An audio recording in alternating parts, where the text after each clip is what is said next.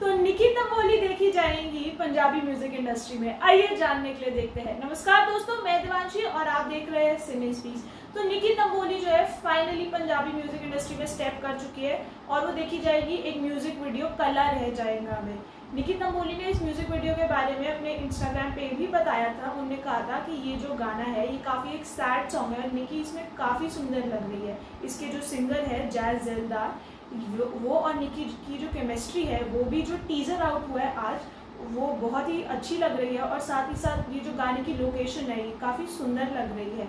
ये जो टीज़र है, ये L Y F T M studios के यूट्यूब चैनल पे रिलीज़ हो चुका है और आप जाके इसको देख सकते हैं। बहुत सुंदर लग रहे हैं। निकिता मोली ने ये भी कहा था कि उन्हें गाना बहुत पसंद है एंड वो जो पूरा गाना है, याद कर चुके हैं ये पंजाबी गाना।